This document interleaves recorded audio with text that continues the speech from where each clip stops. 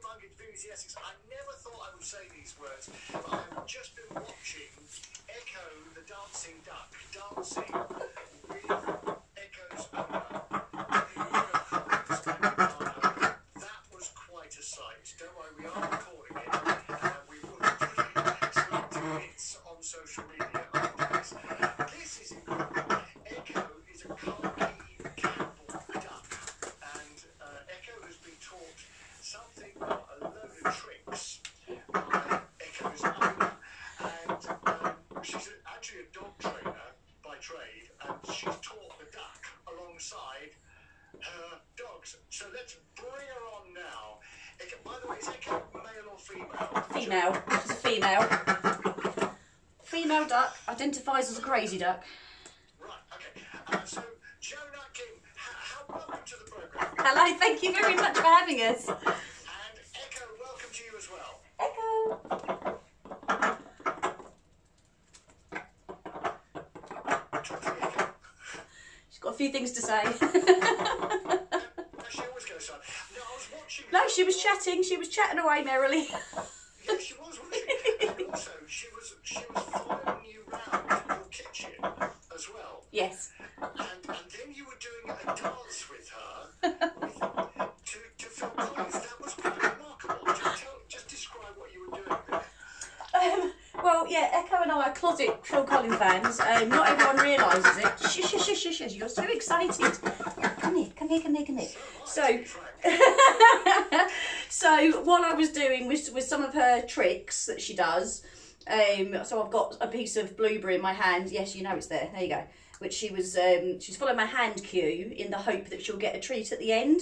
So they're they're tricks that she does individually, but when there's a bit of music on, you can actually pair them together, and it becomes heel work to music. so then you have heel work to music training as well as tricks training. Um, and I do heel work to music with my terriers.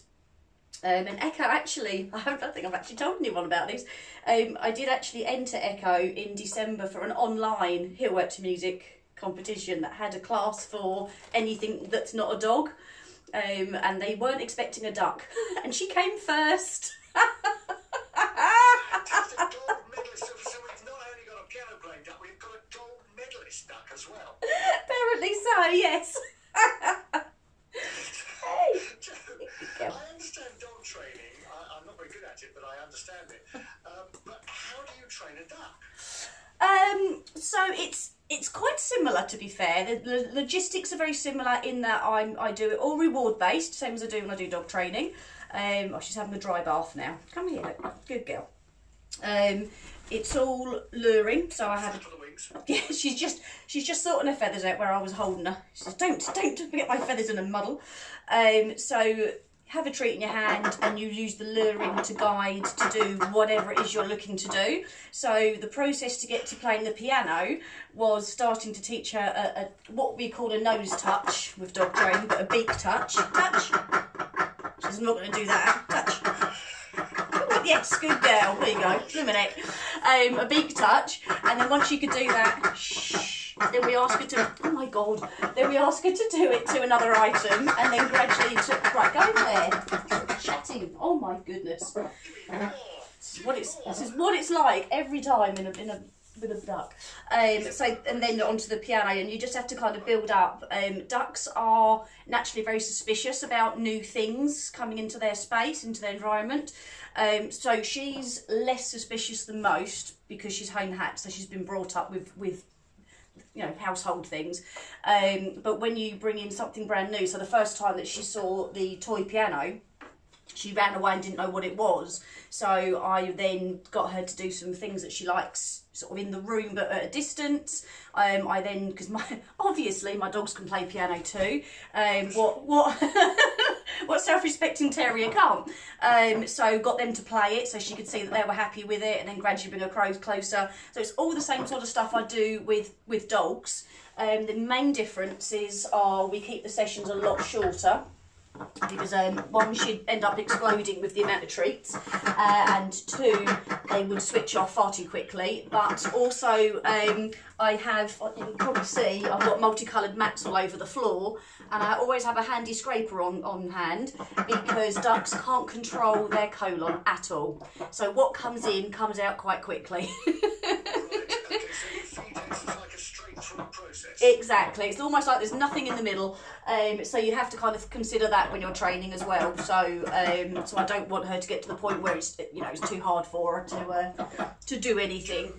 Joe, inevitably somebody will phone me and say, isn't this cruel? Yeah, someone might say. Say to that. Um, I would say that she's asking for her piano to come down at the moment. I will, I will show you what she does in a moment. Um, yes, she has the option of walking away at any point. So she's got she's not got a collar or a lead or anything on. She's got a door over here open. The door into the rest of the house is open. She can walk away at any time if she would like to. Um, when she's doing tricks, she makes her happy noises, which you're hearing a lot of, um, aren't we? Um, and actually, there has been um, a couple of tricks that I've looked at introducing to her. She clearly wasn't too sure about doing it, so we just don't do it. Simple as that. So when I introduced a hula hoop for jumping through a hoop, she wasn't sure. She wasn't sure about it flat, held, anything. So we said, okay, no problem. We just won't do jumping through a hoop. So we don't. And Joe, when, when did you first discover that Echo was trainable? um, actually, when she was about nine weeks old.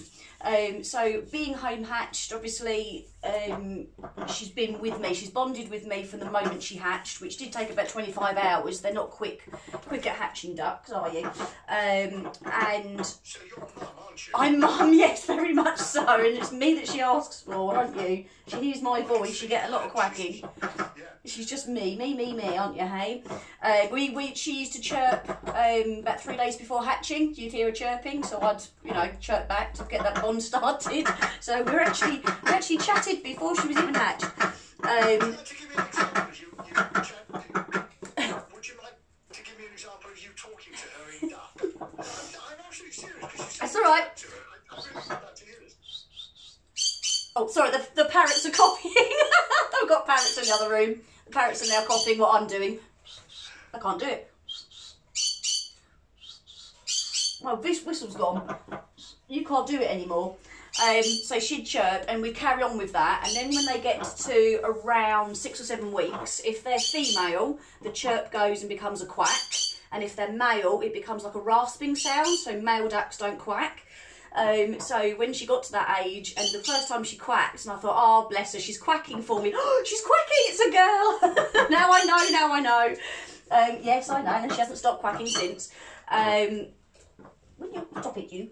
Um, when she got to about nine weeks old, um, she was well, she was in the lounge anyway because she just sort of, she's in the house with the dogs and, and everything, and I've done work to make sure they're all comfortable with each other.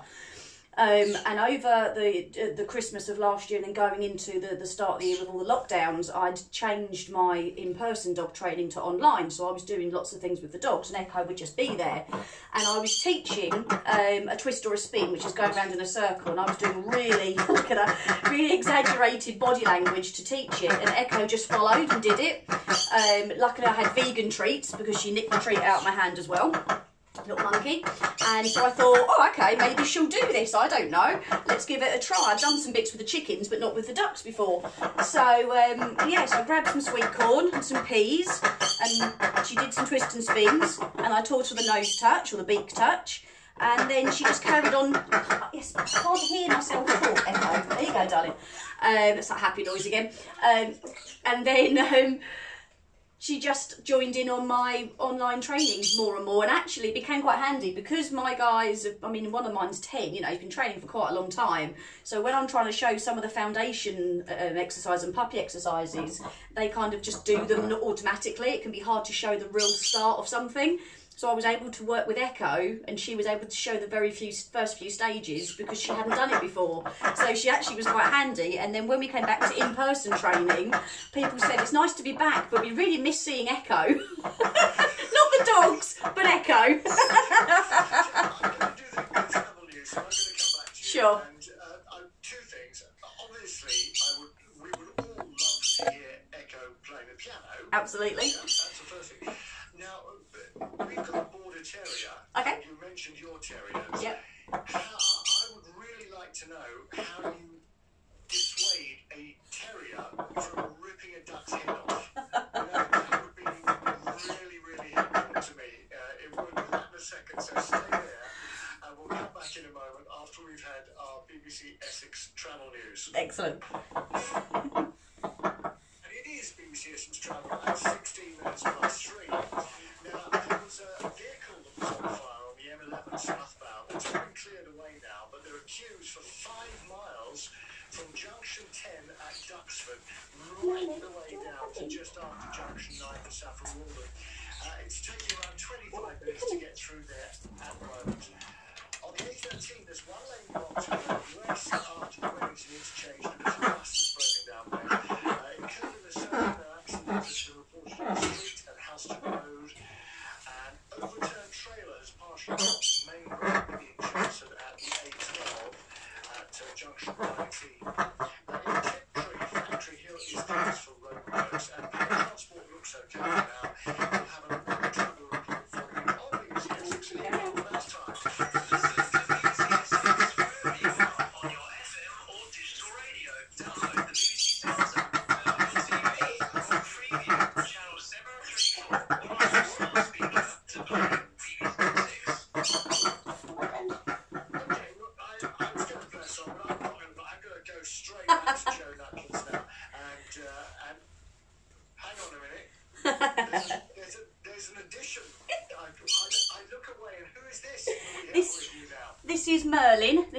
10-year-old Norwich Terrier. Uh, Brickley, my three-year-old, is asleep somewhere in the other room along with the assistance dog puppy I'm training. But this is this is the Merlin man. You bend. Say hello. There, he's a good boy. And up again. Good lad. Yeah, he's, having, he's a little a little bow hello. Echo the Duck is right next to Merlin, so they obviously get on very well. They do.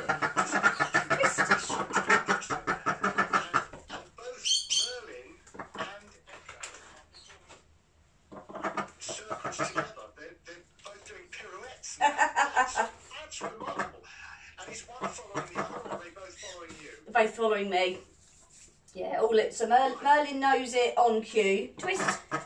No, that's not a twist. Apparently, twist. Yay! Echo, Echo just needs a little help. Twist.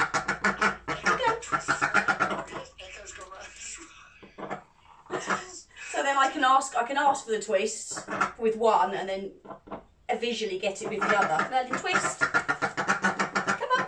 Yay! You know, after 35 years on BBC Essex, I've done a lot of things. This is the first time I've done anything before.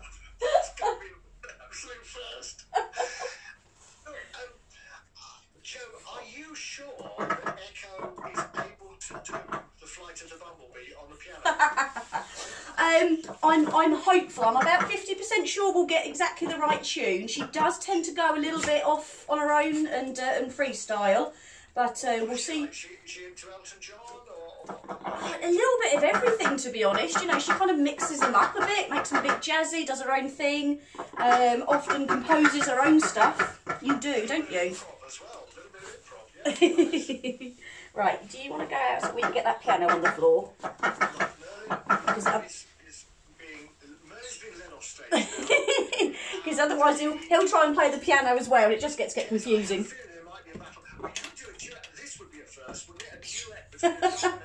Yes, absolutely.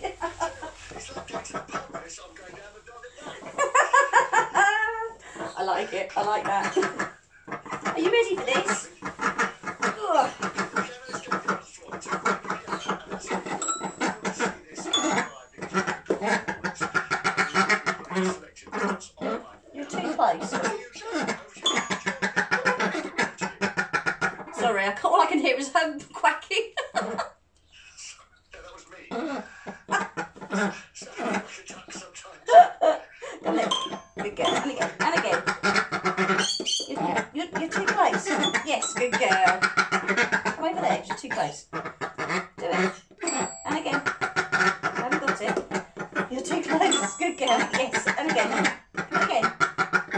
Yay! Good girl. So as you can see, if she didn't want to do it, she wouldn't have to do it at all. Do it. Come on.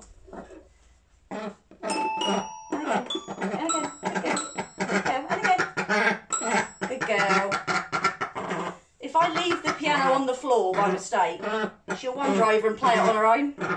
Makes you jump sometimes, you're not expecting it.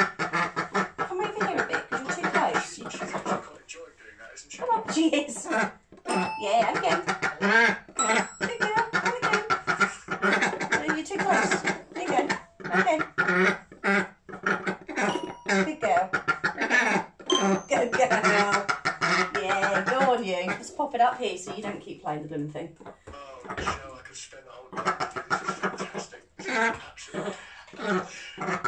This is. Push it. Push it. Push. Push.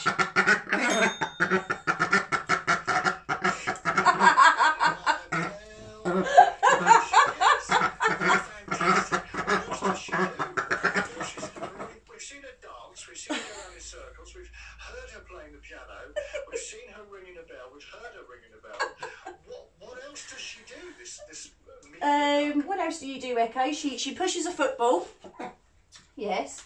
Um, in fact, if I'm doing the greens for all of the other birds and she's in here with me, if I'm not paying her attention or dropping the odd bit of food on the floor for her, um, then if there's anything on the floor that can roll, she'll start pushing it about. So if there's one of the um, sort of washing machine things that the fabric conditioner goes, fabric softener goes in, she'll start pushing that about and then come back and say, I've pushed it, come on, give me a treat, I've pushed something. So whether it's a, a ball or a bottle or anything, a bauble.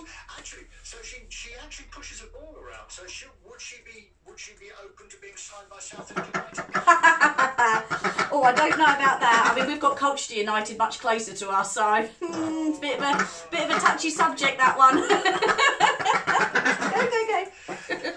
Tell me about the media attention you have been getting for Echo and her skills. Oh, blimey, it's it's so much fun, but it's also I've got ME and it's really quite tiring because every time you sort of interact with people, it obviously t- it takes a lot of um, fatigue. Um, go and get that.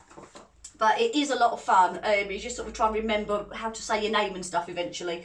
Um, but it's it's gone quite quite crazy. It's really nice because I enjoy her so much. I really love her company. It's nice, and we're getting messages from people on, on her Facebook page. Obviously, she's got a Facebook page. Um, So yeah, obviously, why wouldn't she? Um, saying how much people are, are just enjoying the story, and it's so nice to think that just this this little tiny duck here can actually bring so many smiles to people. It's it's so nice. It's so lovely that she's been able to do that. Um, and I'm even luckier because I get to see it every day, obviously, when she's not shouting at me. you- as you can tell, I've been sitting here with an idiot grin on my face for the last 20 minutes. Uh, this is just brilliant. Absolutely brilliant. You're a monkey. And, uh, and time, this is the perfect time of year, isn't it, when people a bit down. What's your name today? Tell uh, about the piano playing duck. I mean, this is. I think you ought to get an NHS grant personally. Take her in to visit people. She'd love it. She travels fine. She goes up the ramp, into the car, into the van, into her travel crate. Yeah. What have you done? So how many animals altogether have you got? Because we've met the dog, we've, we've met one Met one of them. Let me see. Let me see if Aero will wake up. We've got we've got two terriers ourselves. I've got Aero, the chocolate lab, who is four months, and she's the assistance dog that I'm training. So she's living with us while I train her, um, and she'll be going to a family as a Dogs for Autism um, assistance dog eventually. Um, we've got two uh, foster parrots in the house. Um, what else have we got? We've got Echo. Echo has got an enclosure outside so she can be out and get sunshine and stuff um, as, as well. Um, and in there we've got Tim, who is an 11 year old wood duck that we rescued a couple of months ago, bless him. He's quite shy, um, half her size, but very pretty, really pretty, all colours of the rainbow on him. Um, their enclosure's next to two quails, Fred and Wilma uh, two snowflake quail, um, and then we've got two rescue cockerels who have their own flocks each. Um, one of them has got bantams, hens, which are all rescues, um, and then the other flock is mostly Rhode Island Red rescue hens, which are the, the typical hens you see in a rescue that are egg layers, um, and then a few different hens that were rescued from a. It was more of a care case. They they needed to come out because they weren't being looked after. Um, and then down the end, Merlin's let me know someone's here. Merlin, Poppy, what's this? The you? Don't know what he's talking to. What are you looking at? Merlin, come on, good boy. There you go. Is- is He's Uh, seen something out the window. Thank you so much. Uh, it's been an absolute joy to talk to you. It really, has. And Echo, Echo, you are wonderful. You are the best duck in the world. And Echo is now leaving the stage. Joe, Echo, I wish you well, and I, I hope we can speak again at some point in the future. I. Definitely. We've really enjoyed it. Thank you. Bless you. Thank you very much indeed. Oh, wasn't that great? Uh, Joe Nutkins there, and Echo, the piano playing duck. Recording stops. Guys,